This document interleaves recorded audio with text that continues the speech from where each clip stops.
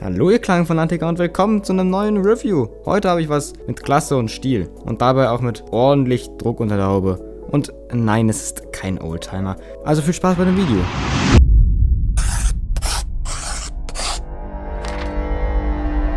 Bluetooth-Lautsprecher.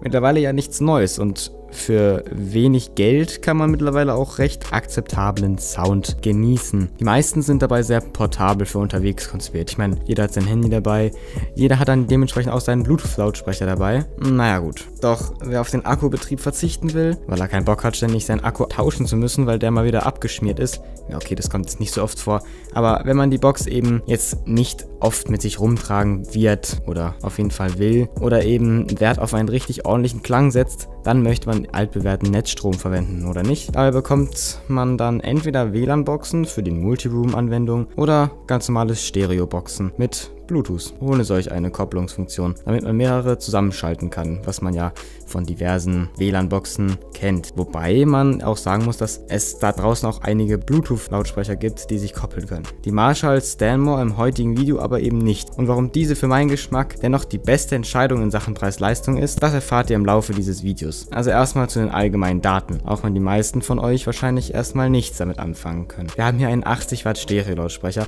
mit Bluetooth 4.0, also ganz normales Bluetooth. Mit aptX-Technologie, was eigentlich nur die Streaming-Qualität etwas aufpushen soll, sofern euer Quellgerät, also euer Smartphone oder whatever, mit was ihr eben gerade streamt auf die Box, das ebenfalls unterstützt. Außerdem haben wir zwei Hochtöner mit 19 mm und zwei Tieftöner mit 133 mm und den ganz normalen Bass. An Anschlüssen und den ganzen Kram, um den Klang ohne Bluetooth da reinzubekommen in die Box, gibt es beim aktuellen Modell nur noch ein 3,5 mm Klinke und ein Kinch, was diese bunten Kabel sind, diese AV-Kabel, bloß eben nur zwei dafür für den Ton. Und mit nur meine ich auch nur, denn leider, wie so oft, wenn irgendwas Neues rauskommt, wurde etwas weggelassen. Ob es jetzt aus Spargründen war oder aus irgendwelchen anderen Gründen, kann man nicht sagen. Jedenfalls fehlt der optische Eingang und die Funktion, das Gerät in einen Stromsparmodus zu versetzen. Dafür gab es beim alten Gerät, sage ich mal, hinten so einen kleinen Schalter, mit dem man quasi in den Stromsparmodus wechseln konnte, sodass das Gerät immer am Strom bleiben konnte, ohne dass es wirklich Strom verbraucht, weil das Netzgerät einfach den Strom abgeschaltet hat da drin. Das ist jetzt beim Nachfolger leider nicht mehr so. Es gibt absolut keinen Grund, so das einfach rauszulassen. Ich meine, es nimmt ja jetzt nicht gerade viel Platz weg. Ich meine, die Box hat ja für so ein... Da brauchen wir gar nicht drüber reden. Eigentlich ist die Stammer tatsächlich etwas more... Ja, okay, das kann man jetzt, glaube ich, nicht. Ja, okay, ich habe es verstanden. Ich glaube, ich lasse einfach. Jedenfalls ist die Stelmore gar nicht so klein, wie man anfangs denken könnte. Sie ist zwar der kleine Bruder der Wobbern, also der größten Marschall, jedoch ist sie nicht wirklich klein. Mit ihren 35 x 18,5 x 18,5 cm ist sie zwar logischerweise kleiner als ihr großer Bruder, den Wobbern eben, aber dennoch nicht die kleinste. So klingt es auch, denn wenn man es mit der Lautstärke etc. nicht gerade komplett übertreibt, betreibt, wirkt der Stanmore einfach wie ein Wobbern in kleinerem Gehäuse.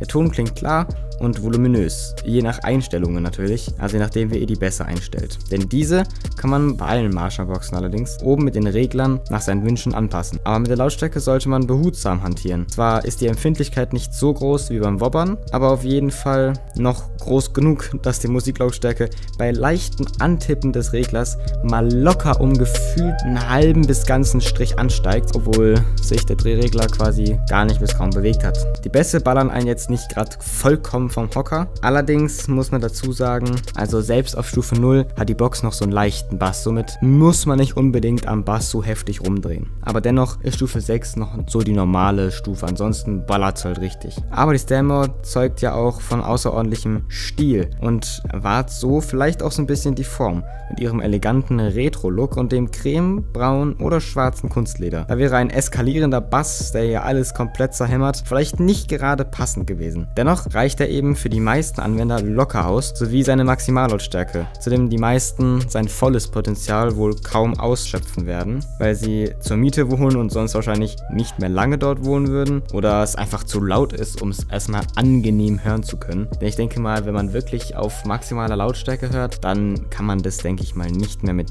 angenehmen Musikhören vergleichen, weil da scheppert es dann richtig. Also wenn ihr gerade auf der Suche seid nach einer ordentlichen Bluetooth-Box und da kommen wir dann auch zu ihrem größten Pluspunkt, also wenn ihr auf der Suche nach einer günstigen Bluetooth-Box seid, mit einem geilen Klang, dann seid ihr, denke ich mal, hier gut bedient. Die Box bekommt man aktuell für ca. 200 Euro, wenn man Glück hat sogar für 180, je nachdem, bei Yalo aktuell 185. Alternativ wäre die Bose Soundtouch 20 bzw.